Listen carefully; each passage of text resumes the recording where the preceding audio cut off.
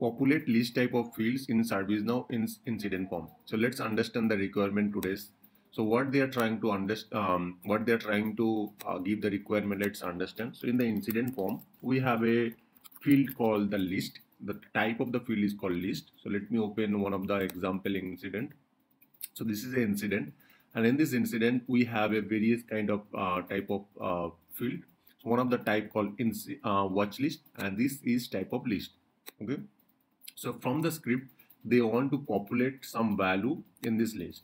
And it, this could be a different condition. Let's say that, for example, I'm saying that if the incident type is a phone, the list will be some other, like this value will be some different. And if that is the email, the value will be some different. So let's understand correctly. Depending on this uh, channel type or the type, this value will be different like watch list value will be different. Now question is that how we can set this value because in today's session we'll discuss that how we can set the value. We are not going to talk about that um, the best practice or maybe uh, what mechanism we should use but the or what are the opportunity we have to set that but instead of that we are saying that how we can set this value of the watch list depending on this value called contact type to, to, to implement that, there are various um, options we have. So like we can implement through the client script, we can implement through the business rule, depending on what type of things you needed. So if we implement through the client script, it will be on change, like somebody changed this value, it will automatically update that value. If we do the business rule, whenever we will update, after update, we'll see these changes. So depending on what we are building or what we what is the expectation? Based on that we can set that okay? So in our requirement i am going to implement through the business rule. So depending on your use case you can implement again. So what business rule what things we are going to implement? We are going to implement through the business rule. So we'll say that business rule. And definitely it's a before. And then method we are going to use the current method.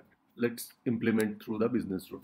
So first the point I'm trying to make here that we should know that how we can set this value of this watch list or maybe the list type of field value. To do that, I am going to create a, a new business rule under this business rule module. I'm going to create a new business rule. Click new. Now here we can put the name. Let's say that I'm going to put that. This is the name. Here we should put the table name. So we can put the table equal to incident. So I'm going to select the table equal to incident. When should run? It should run on the update. And then I'm selecting the advanced option so that I can write the script. Here I'll go to the advanced option and start writing the code. Let's write the code. First thing first, we should decide that on which type we want to populate what value. So let's say that if the contact, right? So this contact type is phone, we want to populate some value. So I'll copy and then say that if current dot contact type equal to equal to phone. So this value is the phone. So we'll put that phone. Okay. And then if that is satisfied, we want to do some perform the action. So current means this business rule is running so we can use the current object and using that any field name. So this is the field name contact type. So current dot contact type equal to equal to phone. In this case, we want to set some value, right? What value we want to set? We want to set the watch list value. Okay. So we'll say that current dot watch list and then we should set some value. So we need to be pass some value. Now we have to understand before we pass the value, we have to understand that this is a list. It means that we can select multiple value and this is a reference kind of thing. So we it is referencing to the another table called sys user table.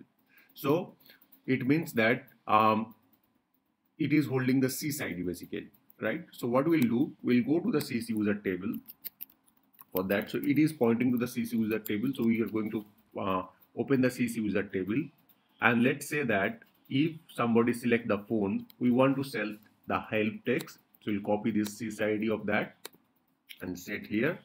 And then we want to set as a end user. So these two value we want to set.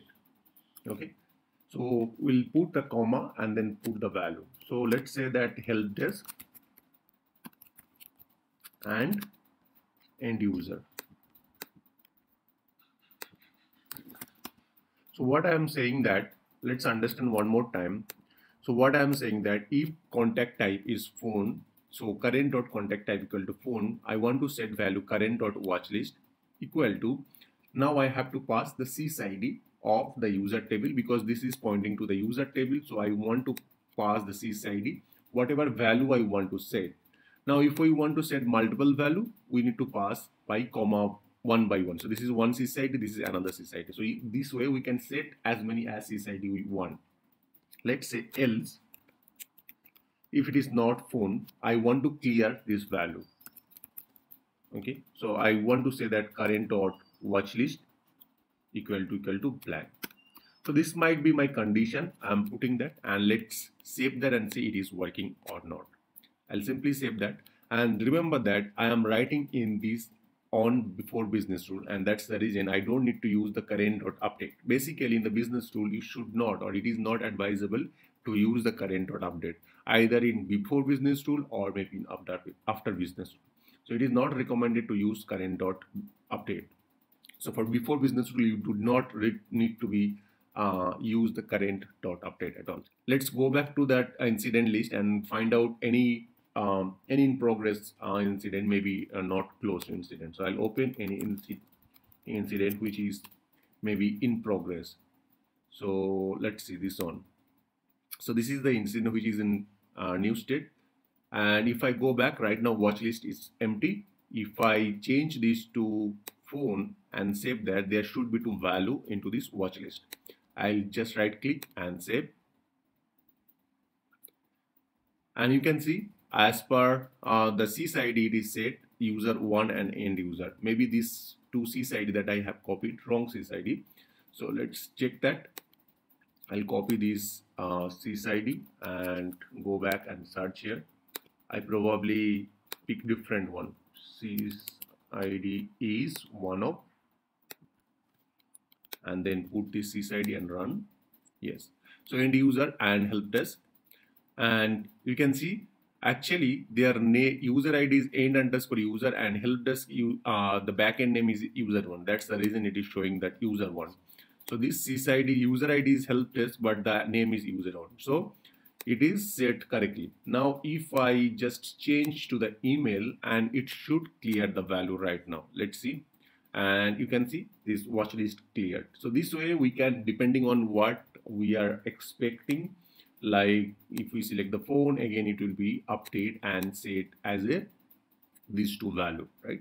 So this way you can set any list kind of uh, field values. If i right click and then click the show and you can see that type is the glide list and here we can set that. So remember that for reference we need the sysid for list we can pass multiple sysid by comma separated so that's it for today. If you have any question, let me know in my comment section. Thank you very much. Have a great day.